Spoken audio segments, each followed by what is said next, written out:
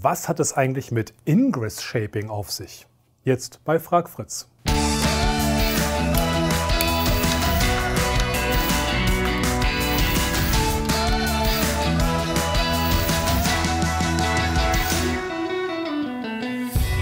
Wir haben jetzt schon mehrere Anfragen zu dem Thema Ingress Shaping bekommen, unter anderem von Lösegeld Günther. Lösegeld Günther, natürlich zeige ich dir gerne mal, was Ingress Shaping eigentlich ist. Es ist ein neues Feature in der Laborversion, also im kommenden Fritz OS, und es geht um eine faire Bandbreitenverteilung im Heimnetz. Wir machen ja schon länger ein Shaping, eine Priorisierung im Upload, also Express Shaping, um zum Beispiel Internettelefonie sicherzustellen, dass das gut funktioniert. Das heißt, wir sorgen dafür, dass bestimmte Pakete im Upload priorisiert werden und schlimmstenfalls andere gedroppt werden, um sicherzustellen, dass kritische Anwendungen halt wirklich zeitnah funktionieren. Das machen wir jetzt auch in dem Download mit Ingress Shaping. Warum brauchen wir das eigentlich? Ich zeige euch mal ganz kurz, was nämlich passiert, wenn wir kein Ingress Shaping machen, keine faire Verteilung haben. Ich habe hier zwei Notebooks, beide sind per Netzwerkkabel mit der Fritzbox verbunden, um sicherzustellen, dass nicht irgendwelche WLAN-Effekte hier eine Rolle spielen. Und ich starte jetzt hier einfach mal einen FTP-Download. Also ich habe hier ganz normal einen FTP-Client, stellvertretend für irgendeine Anwendung, das könnte eine Videokonferenz sein oder irgendwas, was dieses Notebook gerade im Internet tut.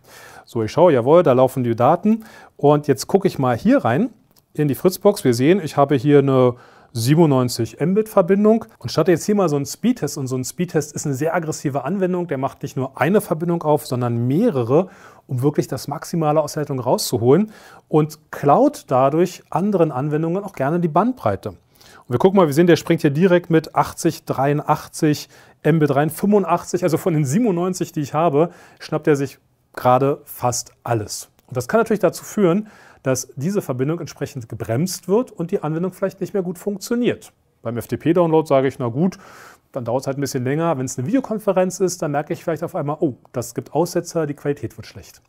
Wir wollen also jetzt eine faire Verteilung und das aktivieren wir mal, denn dafür sorgt Ingress Shaping.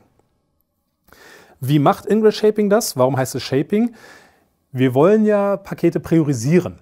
Und zwar da, wo die Warteschlange entsteht. Also wo wir den Stau haben, müssen wir gucken, wir müssen bestimmte Pakete bevorzugen, andere gegebenenfalls verwerfen, dass sie uns nicht die ganze Bandbreite klauen.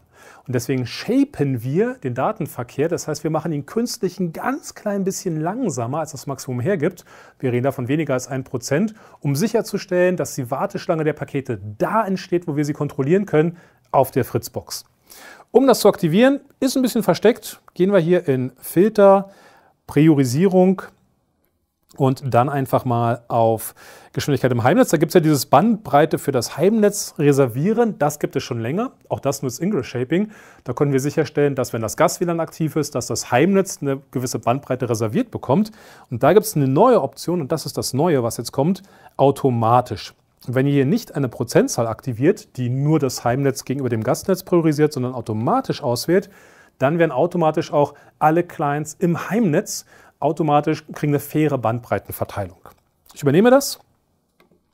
Das führt jetzt dazu, dass die Internetverbindung einmal neu aufgebaut werden muss, denn wichtiger Hinweis, damit wir dieses Ingress Shaping machen können, müssen wir die Hardwarebeschleunigung deaktivieren. Die Hardwarebeschleunigung sorgt dafür, dass bestimmte Pakete an der CPU der Fritzbox direkt vorbei zu den Endgeräten gehen, also für Gaming zum Beispiel eine coole Sache. Aber wenn wir jetzt natürlich kontrollieren wollen, was da welche Bandbreite kriegt, müssen wir das über die CPU laufen lassen. Deswegen aktiviert das auch wirklich nur, wenn ihr mehrere Geräte habt, die gleichzeitig aktiv sind. Wenn ihr da allein unterwegs seid, dann lasst es wie es ist, nutzt die Hardwarebeschleunigung, ist in dem Fall wahrscheinlich die bessere Wahl. So, ich gucke mal rein. Online-Monitor. Die Verbindung sollte neu aufgebaut sein, jawohl, diesmal sogar mit 100 Mbit gesynkt und ich bin verbunden. Ich stelle hier nochmal sicher, dass der FTP-Datentransfer auch weiter läuft und ja, das sieht ganz gut aus. Machen wir also nochmal einen Speedtest und gucken, was jetzt passiert. So, und wir sehen direkt, wir landen da bei 50, 60 Mbit. Das heißt, jetzt hat genau die Box für diese faire Bandbreitenverteilung gesorgt, hat gesagt, egal wie viele Verbindungen diese Anwendung hier aufmacht, wir verteilen die Bandbreite gerecht zwischen diesem Notebook und diesem Notebook. Und damit ist sichergestellt, dass die Anwendung, die hier läuft, auf jeden Fall stabil weiterläuft. Also zum Beispiel eine Videokonferenz, obwohl hier gerade irgendeiner wahnsinnig viel runterlädt oder einen BitTorrent laufen hat oder was auch immer. Damit das funktioniert, auch hier nochmal ein kleiner Disclaimer, brauchen wir natürlich eine entsprechend leistungsfähige CPU. Und wir brauchen eine stabile Internetverbindung, stabil im Sinne von Geschwindigkeit. Denn wir wollen ja die Geschwindigkeit ein ganz klein bisschen langsamer machen als das, was internetseitig maximal möglich ist, um sicher zu sein, dass bei uns auf der Fritzbox die Warteschlange entsteht. Das funktioniert nur semi-gut, wenn diese Internetgeschwindigkeit variiert. Und das tut sie bei einem Shared Medium.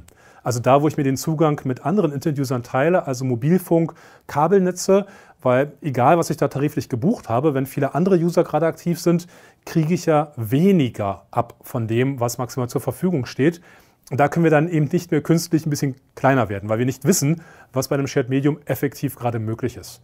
Deswegen bieten wir es an für die DSL-Boxen und dafür die entsprechend leistungsfähigen, also 7590, 7530, 7590 AX natürlich, 7520, 7510, praktisch die neue Generation. Da könnt ihr Ingress Shaping aktivieren.